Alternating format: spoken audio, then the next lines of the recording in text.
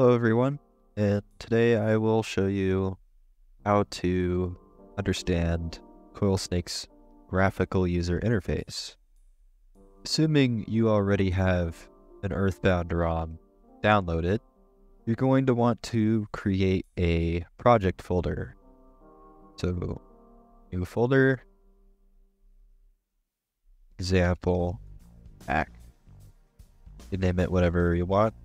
First thing you're going to want to do with CoilSnake when starting a project is decompiling it.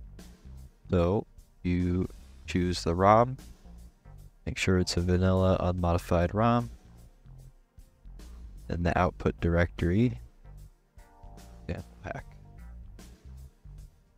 Then it'll just ask you a prompt, click yes.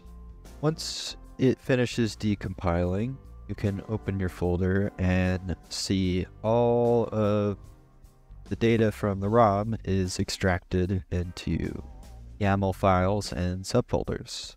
I won't be covering how to modify anything just yet, as we still need to know how to use CoilSnake.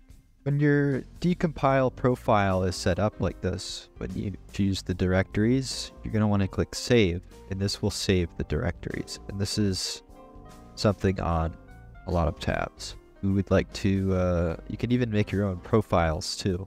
Once you do make changes to files and assets in your project folder, you're going to want to compile them. So you choose the base ROM.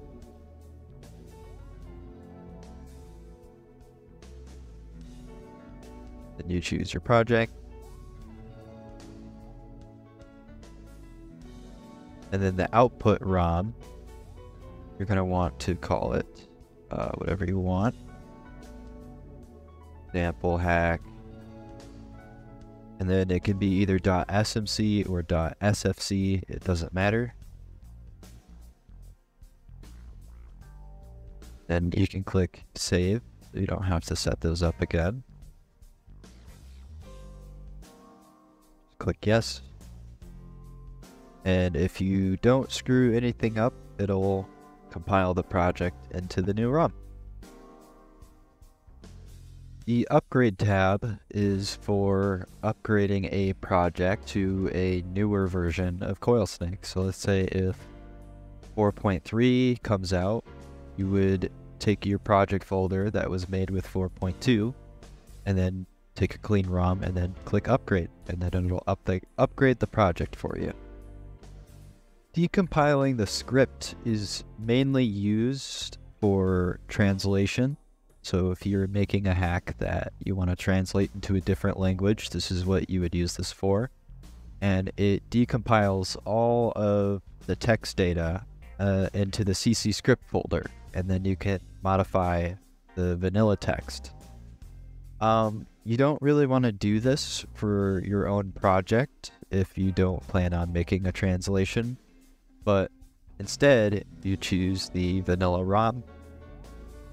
And instead of choosing your own project, you create a new one. Call it Playground Hack. And decompile it uh, first.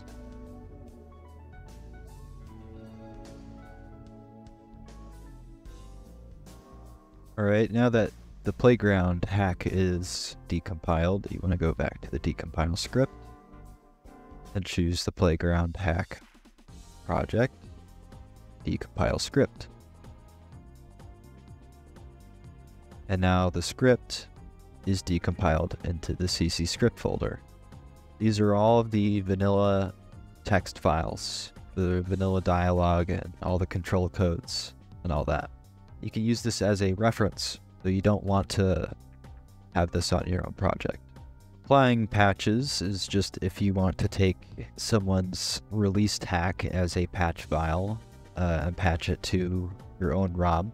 That way you can play it. There are many different formats patch files can be in, which uh, I could probably make my own video about at some point, but you mainly just get a clean ROM and then make your patched ROM apply the patch, patch ROM here, and patch ROM.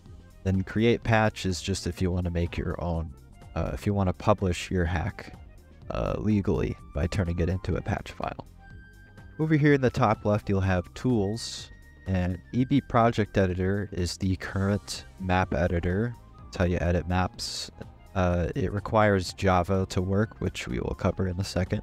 Expanding your ROM is just a, a required thing for CoilSnake. It will automatically expand to 32 mbit and compiling a uh, compiling a project because it needs extra information uh, to store stuff in. Add and remove header is just add and remove header. If you don't know what headers are for ROMs, not going to explain it to you. In settings, there's configure emulator, which is what allows CoilSnake to execute whatever ROM is in each path with the run button. So it'll just play the ROM. Figure Java is what will get the map editor to work. So you just, once you install Java on your machine, you just figure Java and CoilSnake will automatically find it for you. You don't need to mess with configure CC script unless you're doing something super advanced, which I will cover in the advanced series. And then debug mode is what enables the console to give you a more detailed error when troubleshooting things. The next video, we will cover how to edit uh, all the graphics in the game, like uh, decompiled graphics.